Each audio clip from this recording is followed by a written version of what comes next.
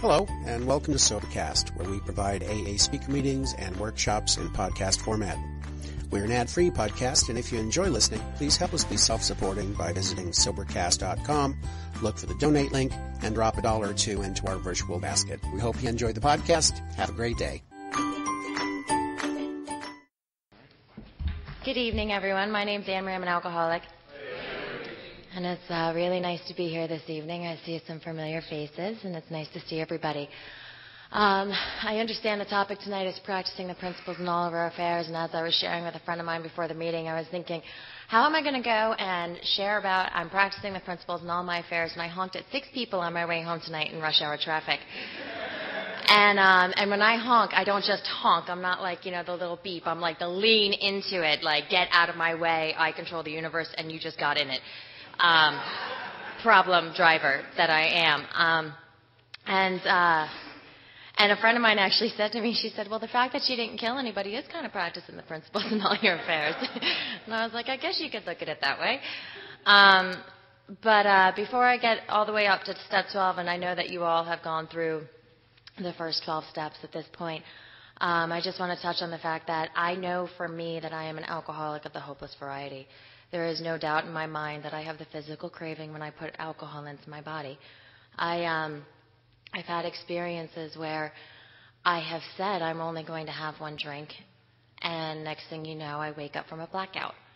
I have had the experience of not being able to control my drinking because I have a mental obsession beyond my control. Um, I specifically can point to one instance in my drinking, and really only this this one was very very clear to me, where I um, I was in this hotel room with my family, and I went downstairs just to have a cigarette, and that was the only thing I was going to do. Was I was just going to have a cigarette. It was like eight o'clock when I went downstairs to have that cigarette, and I had um, a final that I was supposed to be taking in the hotel room with my mom, and uh, a couple other really important reasons not to drink that night one of which was two. I was only by myself. Um, and I went downstairs to have a cigarette, and I came back up at six o'clock in the morning. I had drank God only knows what. I had the last thing I remember telling people is that my name was Mary and I was from Tennessee, which obviously both of those things are false. Um, and I it was it was a really good snapshot of my drinking because what happened with me is that so often I snapped into my life and I snapped out and and while we call them blackouts, which is for me what they are, the reality of describing them is terrifying. I literally am up, walking around, interacting with God only knows who, saying God only knows what, and I am not conscious of this. And then all of a sudden, I'll snap back in, just in the middle of a sentence. It's like all of a sudden I wake up and I'm like, oh, what am I talking about? Okay, and I'll just ask a couple questions to kind of get the lay of the land, and then I'll just keep going with it. It's not like, you know, I stop and say something must be wrong with me. My brain is like Swiss cheese. It's not like I stop. I just, I am such an alcoholic that I just keep running with it because somehow I needed to make that normal. And, um, and for me, that was, that was the type of drinking I had. So I definitely ignited a physical craving. There were so many times when I would take a drink and I'm only going to have one, and next thing you know, like I said, it's 3 a.m. Um, and I definitely have the mental obsession. For me, there you go. I'm powerless over alcohol. When I take a look at page 52, my unmanageability is very, very clear. When I got here, and somebody was like, "Are you happy?" I was like, "Are you kidding?" Like that must be a joke, right? Because why would I be here?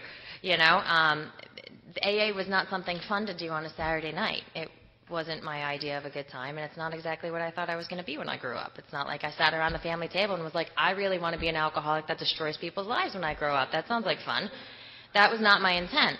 Um, and somebody asked me, was I full of fear? Of course I was. You know, was I a prey to misery and depression? I sat in meetings and cried for the first three years. Even when I was working the steps, I just sat there crying, you know. I have a different recollection, but the people that were around me for the first three years told me, no, all you did was cry. Um, I would have told you that I was fine and that I was working the steps and I was good and I was chipper and I was happy and I was whatever. And they were like, no, no, you just, you sat there and you cried. Um, but that's what I needed to do at the time. And, uh, I was just reading something today that was saying, you know, laugh when you want to laugh, cry when you need to cry, feel your feelings when you need to feeling, feel your feelings, because simply what our point here is is to honor our truth. Because for me, I never knew what the truth was. Never knew what the truth was. And my unmanageability came from my spiritual malady. My, my lack of having any type of contact with a, with a power greater than myself, my lack of, of really believing in anything really beyond my finite self was non existent. And I didn't even know that to put that into words. All I could tell you when I got here was that I wanted to die. That was the extent of my spiritual malady was I want to die. That was the only way I was going to explain it to you. And um, and uh, my last few months drinking, I um, I I got to the point where they said you uh, basically I got into a car accident, like so many of us do, and then the law got involved, like so many times does with us. And um, and the law said, do you want to go to rehab or do you want to go to jail? And I did not really know how to answer that question. It seems like a no-brainer, but as we all know, alcoholism does tricky things. And I was thinking, well, at least I can get high in jail. Can't get high in rehab. I know it's longer in jail, but at least I can get high, so that might be more manageable, more, more tolerable. And um, the Spirit of God came in and was like, you know what, she'll go to rehab. And, uh, and that's where I ended up going. But my last three months drinking, I was told that I wasn't going to get in any trouble if I could just get one clean drug test. I wasn't using drugs. This should not have been something difficult to get for non alcoholics. But I got to the point where, for me, and I know that this doesn't happen to everybody, but for me, it's important to remember that even before I was 21, I was drinking when I woke up. I was drinking when I got home. I was drinking my way to pass out to go to sleep. I would fall asleep in a rocking chair, drop a cigarette, almost set the house on fire, but not drop the wine glass. Never drop the wine glass. Um, and the way that I lived my life was it literally revolved around drinking and it revolved around doing what I needed to do to get that drinking. And I had no idea how manipulative I was because for me it was purely survival. It wasn't a matter of I am trying to get you to do what I want you to do. That wasn't that wasn't my way of thinking. My way of thinking was you have a fake ID. I need alcohol. Okay. Let's see how I can get this you know and that was that was my main my uh, mindset. It wasn't that i understood all these things that aa was describing to me i was doing. I just knew that my life revolved around alcohol and i needed to do what i could do to survive to do that. And um and when i got to aa i spent a year and a half in the rooms um, not working the steps, really just going to meetings and hanging out at the diner, and um, and that was that was pretty much it. I was dating somebody that I had come into the rooms with, and it wasn't until he broke up with me and moved back to Texas that I was like, "Oh God, I don't have a God," you know. And I didn't even realize he was my God until he was gone. And so I guess what I'm trying to highlight is that some of the things that sometimes we talk about in AA, and a lot of times like trying to read the big book, doesn't compute with me because I need it explained to me from where I'm standing right now. I need it explained to me from where I was sitting, where you were sitting. Um, I need somebody to very often interpret it for me, to tell me what it means, so then I can go out and practice it. Otherwise, there is no practicing the principles in all my affairs. You know, there's no like, oh yes, let me just walk out now and start believing in a higher power. That's not going to work. I have to go through a whole bunch of stuff, and I have to relate to somebody, and I need to sit down, a teacher and student, in order for me to get that experience. Because this book is not about knowledge. This book is about transforming an experience so that we can recover from alcoholism, which is a fantastic promise because most people die from this disease. I know I almost died while I was drinking and in sobriety from this disease.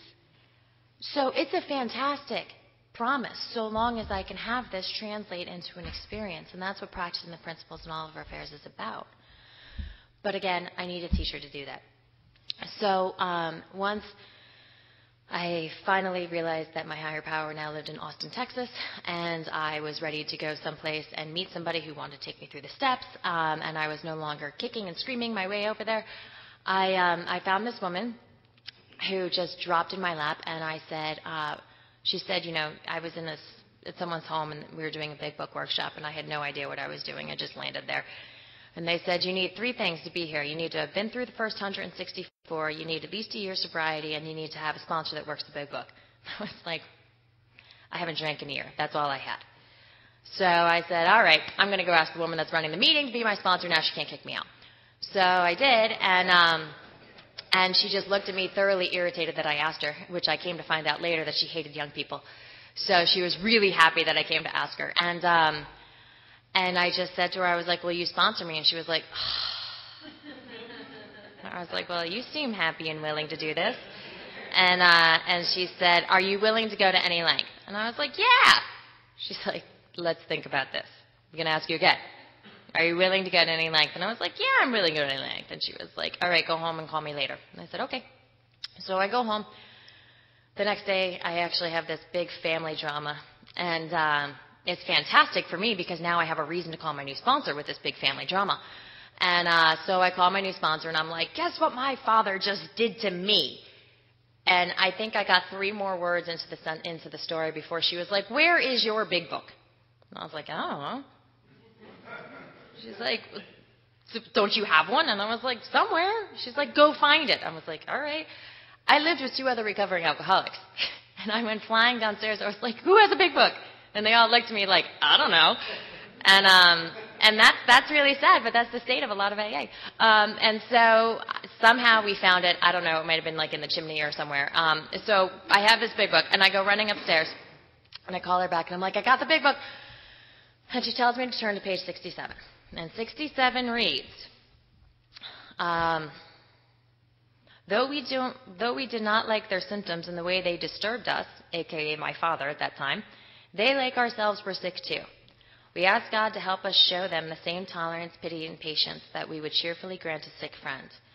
When a person offended, we said to ourselves, This is a sick man. How can, we be, how can I be helpful to him? God, save me from being angry. Thy will be done.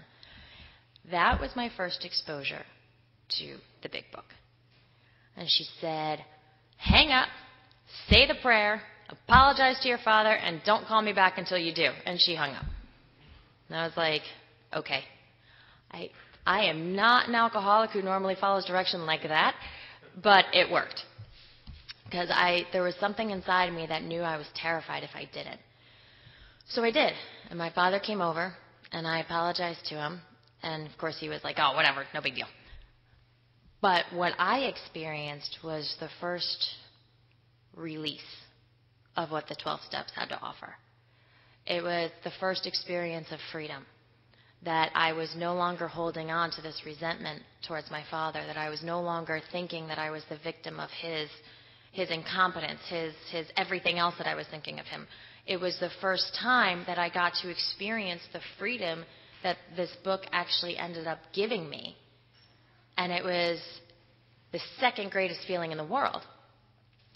The first greatest feeling was at my first meeting with the when I admitted I was an alcoholic for the very first time. And when I admitted I was an alcoholic, I had this unbelievable sense of relief that even alcohol didn't give me. And that relief just poured out of me with all these tears. And I had no idea at the time what I was experiencing, but what I was experiencing was God. Because my first sponsor, that woman who kindly hung up on me, um, told me that every time you tell the truth, you will have a spiritual experience.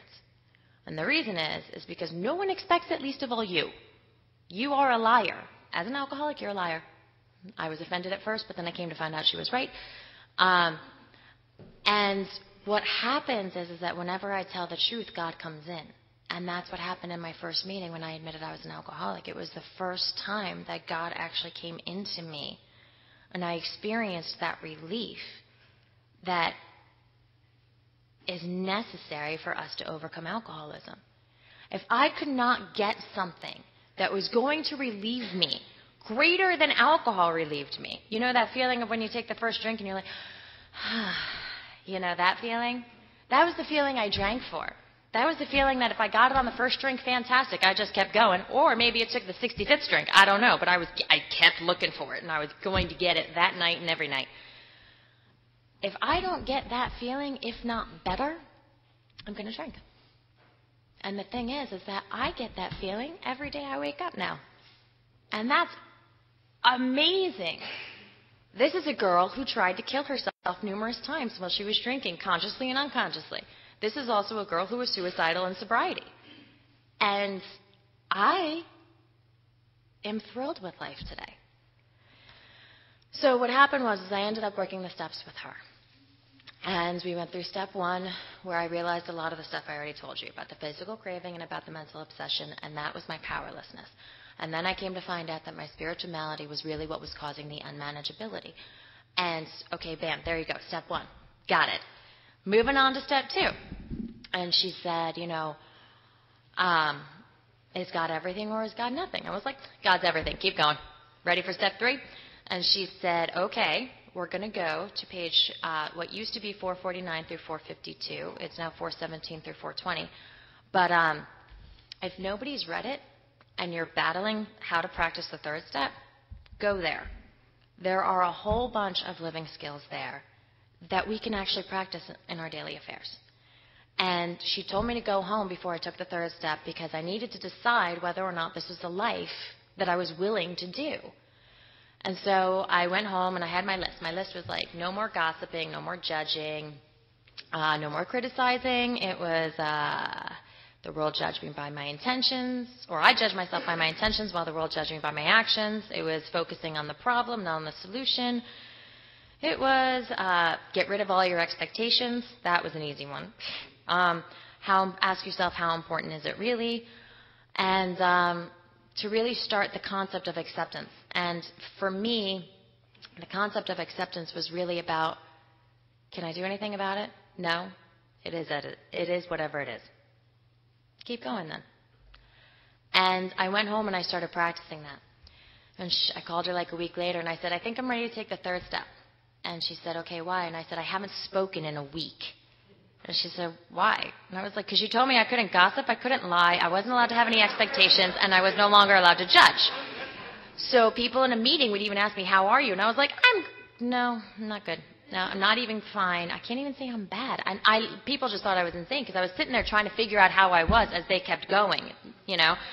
And I was like, I don't know how I am. That was that was the, the most honest I could get.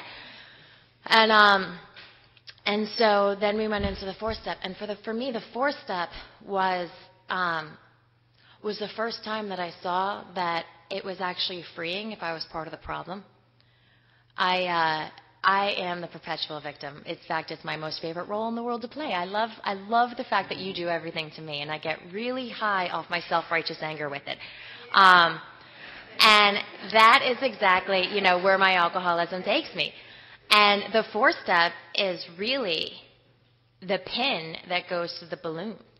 It's really like, here, we're just going to poke it just a little bit so the truth can start to seep in and the ego starts to deflate. Because I was taught that really all the other steps are about reinforcing step one. My whole problem is really my ego just rebuilds itself and rebuilds itself and rebuilds itself, and I will grab onto anything to do it. So step four is about ego deflation. And I got to see the truth about so many things in my life, but specifically at that time I looked, looked back on my drinking and I saw the truth about the fact that all these men that I thought broke up with me, and that I was totally the victim of all these, you know, like unfair breakups, and I was in this abandoned, scorned woman.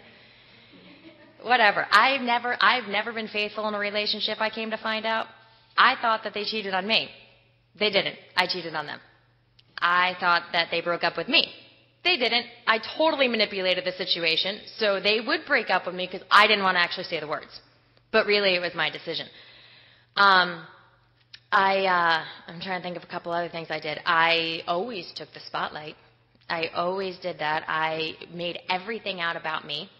I lied about everything. If it didn't make me look good, I lied. If it made me look good, I lied to make myself even look better. You know, there was nothing about the truth that came out of my mouth. And, um, and I came to find out that all of this was really rooted in myself and selfishness and self-centeredness. Sometimes I hear in AA that, you know, the root of our problems is, is fear. And, and the big book actually says the root of our problems is selfishness, self-centeredness. That we think is the root of our problems. Fear for me is selfish, self-centered. It's it's not the other way around. And um, and for me, selfishness was defined as I want what I want when I want it. Self-centeredness was defined as it's all about me. And self-seeking was defined as what's in it for me. And all of a sudden now I had to go around and, and, and the good thing about the four step is it really it's the pin that, that hits the balloon. The bad thing about the four step is that if you're not ready for it or you don't want to hear it, it's the pin that hits the balloon. Now you're walking around with all this knowledge and everything I'm doing, I'm like, I want what I want. What I literally would even say the words. Like my mom would ask me to do something, and I'm like, well, I don't want to do that. Well, why don't you want to do that? Because I don't want to do it. I want what I want when I want it. Oh my God, I just said that. You know, and I, I found myself starting to use lingo, going, oh wow, that's selfish. Okay, so therefore I must be being dishonest. Okay, if that's selfish, then that must be dishonest, and here's where I'm at in my fourth step. And this is what it affects, and this is why I'm reacting. And by having that tool in the fourth step, it was like the balloon never got completely out of, the balloon never took off again. The balloon was always grounded. And, um, and I was also taught that before the fourth step, you pray to see the truth. Because I can sit there and in my head think I see the truth. But there's a reason we put it on paper. And the reason is, is that somewhere between my head and the pen and the paper, God comes out. I don't know if he lives in my right arm, but he comes out. Because when I'm in my head, I'll even go for a run nowadays and I'm like, all right, I have a resentment against my husband because he didn't cook dinner last night. Okay, the dishonesty is the fact that he never cooks dinner. Never. Like, why I expected him to cook dinner last night, I don't know. But he never cooks dinner. In fact, I don't even cook dinner. So why am I upset that he didn't cook dinner? You know, we live off takeout. So it's like, all right, fine, that's that's the dishonesty. Keep going. Okay, the fear. He's not a, you know, he's not as good as I want him to be. Okay, it affects my pride. I'm I don't respect him because he's not living up to my expectations. Okay, now the selfishness, self-centeredness. How come this is all about me? There are two of us eating. Somehow, this all just became about me. He had a busy day. Did I take him into consideration? No, that's selfish. What's in it for me? I want him to serve me. You know? I do. I want to be taken care of. And bingo, I just hit all the main points on the four step. Problem. If I don't write it down, I guarantee you by the time I got back to my house after running, first thing out of my mouth when I walk in is, Why didn't you make dinner last night? Because something happens when you put it on paper. You can actually see the truth of the fact and it becomes real. I don't know how, I don't know why, I just know it works. Go into five. There is there is an intimacy that takes place in five. At first, it's absolutely terrifying. After that, it is fantastic. And it is probably one of my most favorite experiences in life, which is when I call somebody in my network and I'm like, all right, you got to listen to this inventory. You're going to die. It's pretty funny you know, or I call them and I say, I just can't see it. I don't know what it is. I can't see it. And, you know, we go through it or, uh, um, something along those lines. And, you know, I even, I've even just recently was at a meeting where they came up with this great fear inventory and I was getting ready to go into New York City for a wedding and I haven't, I have issues with panic and anxiety where I get very afraid of big cities or I get very afraid of like being claustrophobic and, and I was going into New York City for this wedding, and I was like, okay, I just kept practicing the, the principle that my first sponsor grilled into me, which was always ask in any situation, what can I do for you? That just boils the whole program down to if you have something that you are entering tonight or tomorrow and you don't know how to practice these principles in all your affairs, just stop and say, what can I do for this person I'm about to encounter? There you go. There's the AA program right there in one question. And then do it. It's not what can I do for you? Oh yeah, that would be nice if I were a good person, but I'm not. So here I am. I'm going to gossip about you. You know, it's, it's what can I do for you, and then follow it through. And this alcoholic is not very good at following through, so this alcoholic needs God to help me follow through. So when I ask, what can I do for you? Before I walk in that room, I'd better say a prayer to ask God for the courage and strength to follow through with whatever He sends. And then I just go about doing what's in front of me, and I trust that that's God's will for me. A lot of times I can try and make this more complicated than it is. I can go into steps six and seven, and I can be like, okay, well, I have this list, and this list, I'm kind of willing. And then I have this list, and this list, I'm not really willing. And then this list, I'm totally willing. And then this list, absolutely not. I really like myself. And I can have, I can make it complicated. I can go start reading spiritual books. I can go start reading New Age things. I can go start reading all, everything except for here.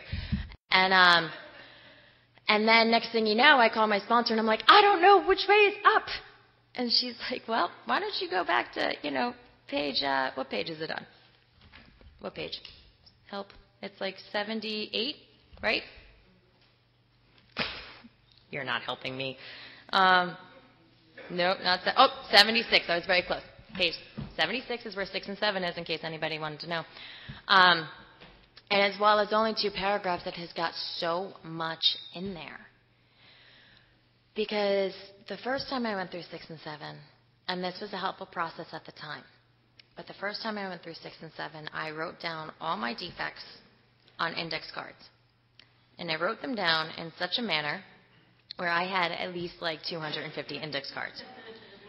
And I could not consolidate them at that time. I did not understand it. I did not know how.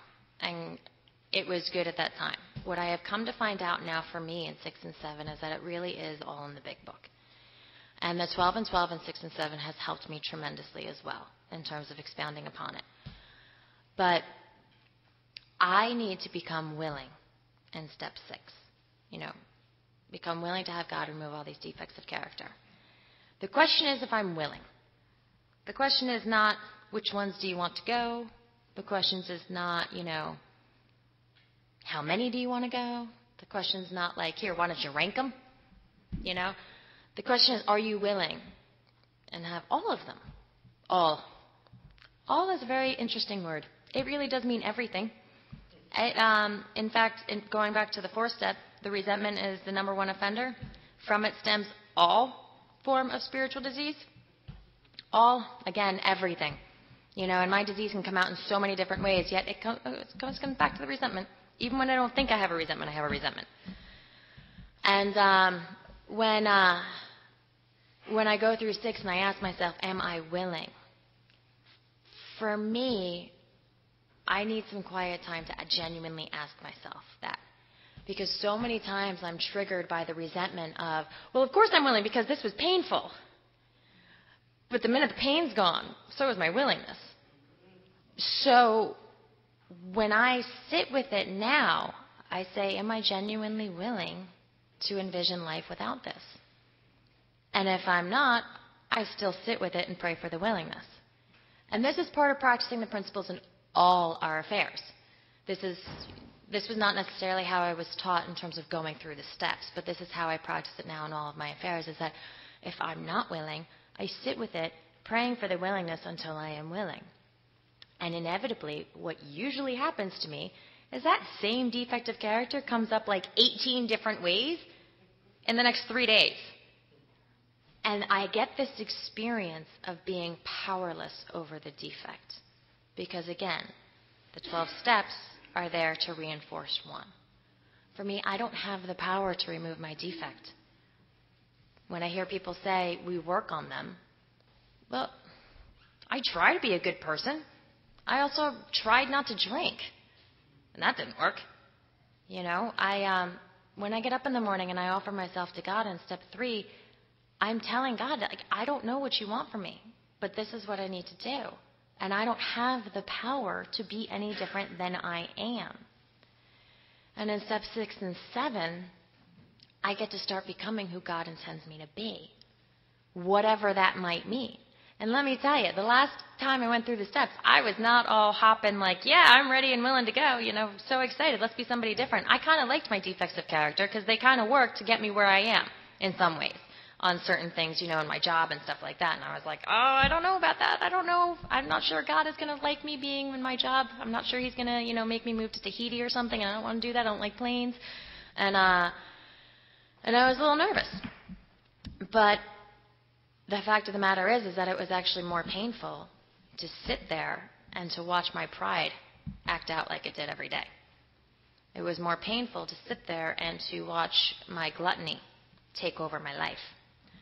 And when I say gluttony, I don't mean overeating. I mean indulging in anything, overindulging in anything. So, self righteous anger is a really fun way for me to express my gluttony, where I just keep going and going and going. Um, telling five different people about the same resentment. That is a really good way to indulge in gluttony because really I only needed to tell one. You know? The fifth stuff's not about like go tell ten different people about no, that's that just crossed a whole new bridge. You know, the my greed can play itself out where I just I'm not grateful for what I have and I'm expecting everybody else to serve me and to be more than a more than they are. And I can go through the entire list of defects of character, but I see how these things work in my life and I start to experience the pain of them. And as the pain grows more, my powerless becomes my powerlessness becomes more obvious to me and the unmanageability can start to seep in. So when that happens is usually when I'm at step 7. And that is when I am truly humble on my knees asking for help. It is at that point when I'm truly humble asking God to remove the defects of character from me that stand in the way of my usefulness to you and my fellows. And the cool thing about seven is that I give up my right to decide what's good and bad. Things that I may, I may think are bad may end up being good. Thought being an alcoholic was bad, ended up being the greatest gift of my life. Things that I think are good might end up being bad. I had this one experience where um, my husband gave me diamond earrings for Christmas. Now, anybody who knows my husband knows that they they almost fell out of the chair when they found out I got diamond earrings, um, because he's very very frugal. Um, and he gave me these diamond earrings, and it was at a time in our relationship where we were not communicating very well, where it was we just anything I said, he snapped, I snapped. It was just we were constantly missing each other. We were just not on the same wave, and I couldn't I don't really know why it happened. It just did, and it was probably about like you know a few weeks of this. And uh, he gives me these diamond earrings, and I am shocked. And I put these diamond earrings on. And two days later, we go away to Providence, Rhode Island, and I go to show my friend my new earrings, and she goes, "What are you talking about?" I lost one. And I was like, "What? I lost my earring?" And um, and here my husband is saying it's just a material thing, which again, if anybody knows my husband, it's like, who are you? Did you really just say that? Um, but it was, it was, he was, you know, trying to calm me down, and I was, I was upset that I lost this earring. And the reason I was upset that I lost this earring was not because I like diamond earrings, was because I didn't realize at the time until I lost it that this earring made me feel beautiful. It made me feel like I was valued. I felt cherished. I felt like I was the number one woman in his life. I felt like I I felt like I could fly. I felt I felt so cherished by this man and so valued when he gave me these earrings and I couldn't have told you that until it was missing. And what happened was was that I went back to like the eight places I had just gone and no earring. That night he turned to me and he's like, Are you okay? And I started crying and I said, No, I'm not. And he said, What's wrong? I was like, I can't believe I lost my earring. He was like, Would you please relax about that? And I said, No. You need to know how you made me feel by giving me those earrings. And I didn't even know that it felt that way until I got them. And I told him exactly the way that they made me feel. And I thanked him for taking the time to care about me like that.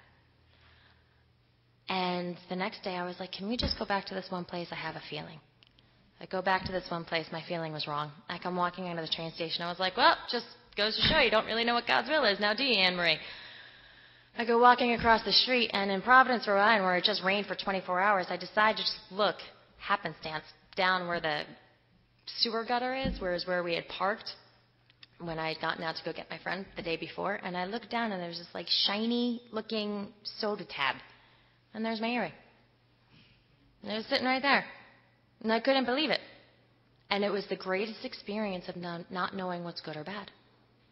Because I thought it was the worst thing in the world. But it was a very good thing because it served to the usefulness of Him and to the usefulness of our relationship. And that's how God can work in my life. He gives me these experiences where I have no idea what's happening, I just got to go with them. So when I move on to 8 and 9, um, I have to make direct amends to such people wherever I have harmed, and I need to continue to do that on a daily basis. And um, and what I do with that is, when it happens, and I take my inventory. This kind of goes into step ten. I was taught that step three is a decision, and you start acting on that decision. But when people say, turn it over, that action of turning it over is in steps four through nine. For the longest time, I had no idea. People are like, turn it over. What does that mean? They just say, just pray, turn it over. like, what is, what is turn it over? Well, just live and let live. Huh? Like, I did not get it, and I was I was not understanding it at all. I'm the type of person that if you draw me a map, I'll follow it. But if it's if I if I don't have a map, I, you're speaking Greek. So, um, so what happened was was that when I got to eight and nine, I started making amends to these people in my life, and um, and I have had ex- amazing experiences in making amends. And probably the one that I'll share with you tonight is actually the one with my brother. And um, this has been kind of like an ongoing thing. And what happened was was that the first time I made amends to him, which was after I'd gone through the steps the first time, I had said to him, you know, I I was selfish. I didn't take into consideration that you were in college and that mom was asking you to come home all the time to deal with me. I was um, I was fearful and acting out. I never took you into account. I lied to you like I breathe. You know, I never took an interest in having a relationship with you. Whenever you called me from college, I was like talking to a rock. You know, it was like he's like, "How are you?" I was like, "Great." Well, what are you up to? Nothing. Yeah, that's a fun person to have a relationship with. And this is a, this is a man who is looking out for me because my husband, my husband, my uh, my father lives in Florida and is drinking, so he's not very good at looking out for me. So my brother takes over, and I did not have the respect of him as not only as my brother but as a human being to even really talk to him. So I make amends for all of these things, and I ask the three questions, which I'm sure somebody went over here. But I asked the three questions. I say, uh, is there any other harms I may have caused that I don't know about? He was like, yeah, you forgot. And he's like, you always took the spotlight. Always, always, always. Even on my 21st birthday, you got drunk and passed out. Everything that was supposed to be about me ended up being about you. He was like, and why don't you try calling me sometime without actually wanting something from me? And I thought about it. I was like, I do always call you when I want something, don't I? And and he told me a couple of other things. And um, and that was the start of a new relationship that I was going to have with him. And what I can tell you about what happened with me was that that start, that opening of communication is totally what saved this relationship at this point because what I did after that was the poor man got married and um, I did not like his wife. And I pretended like it was my business to make sure that he knew I didn't like his wife, which is none of my business. Um, and I also made it my business to assist my mother in ostracizing him from the family because of our dislike of this woman. And I did it in the name of helping my mom, of being of service to my mom. And um, I did it also in the name of protecting her. And um, and this went on for probably about three or four years. And what I managed to do was I managed to, in sobriety, even after the steps, dismantle a relationship any any potential relationship with my brother. And um, and again, this is a man that took care of me as if I was his own kid. And this is somebody who was always there for me. Never in a million years has my brother not shown up. Um, and I made him not part of our family. And I was I was instrumental in it doing it. And what happened was was that I went through another pretty severe four step and in that fourth step, it was like almost a white light blinding experience that hurt like hell.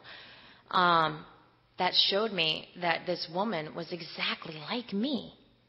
And the whole thing was was that she was getting away with things that I was not able to do. She was setting things with my she was setting boundaries with my mom. I was too scared to set boundaries with my mom. She was being honest about who she was. I was too scared to be honest about who I was to the family.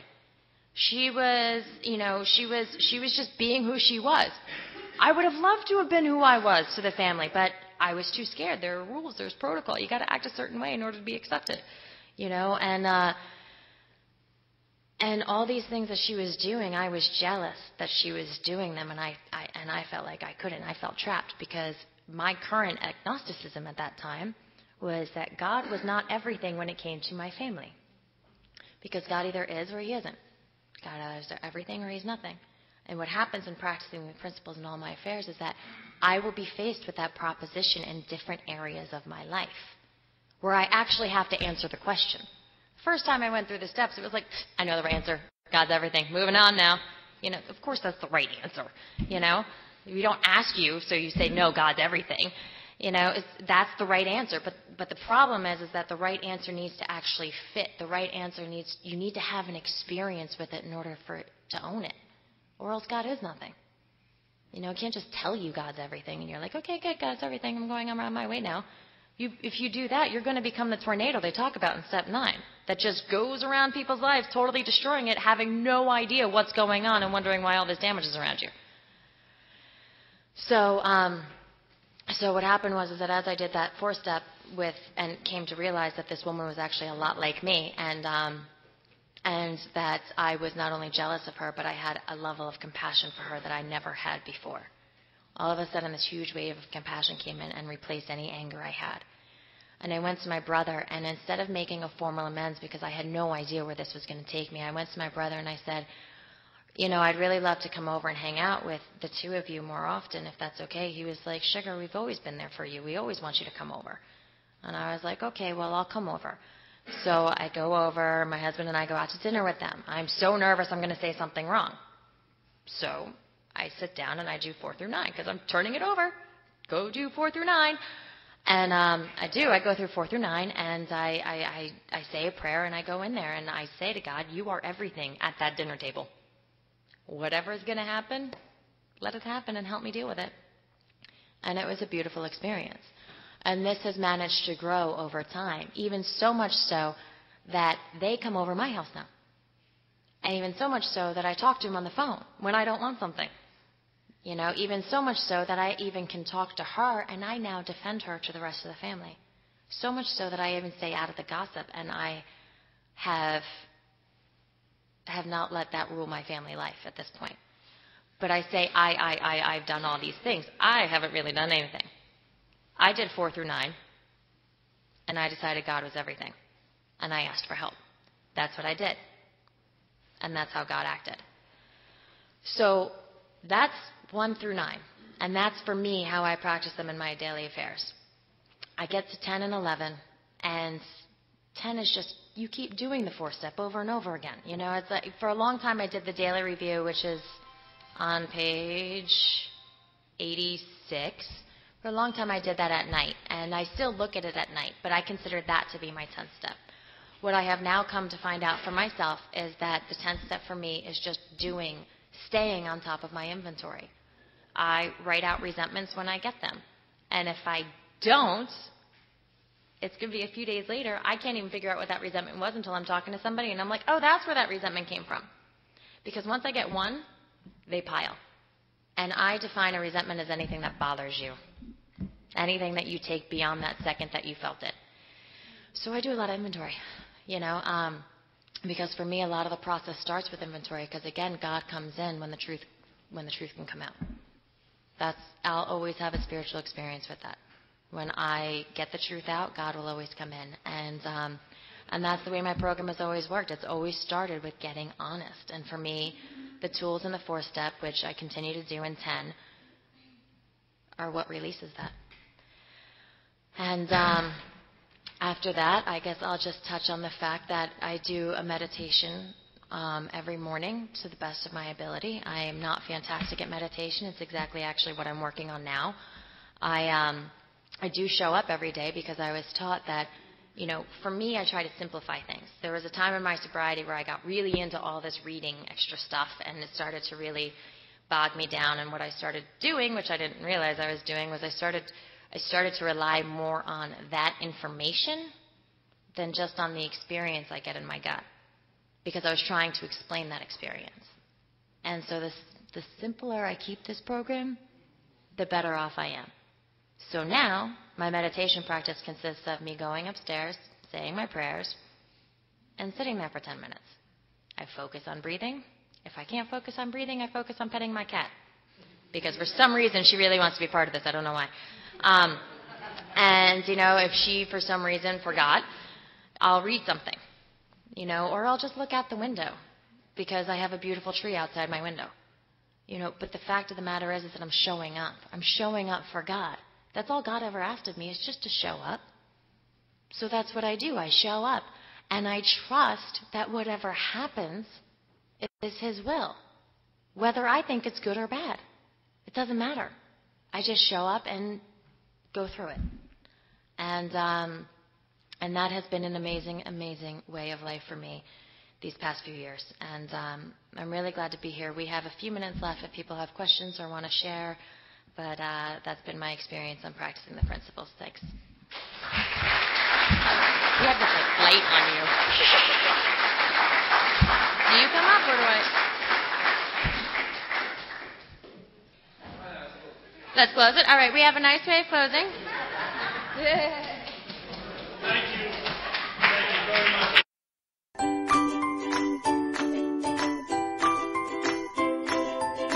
Thanks for listening. I hope you enjoyed the podcast. Sobercast is ad free, and we'd like your help in order to keep it that way.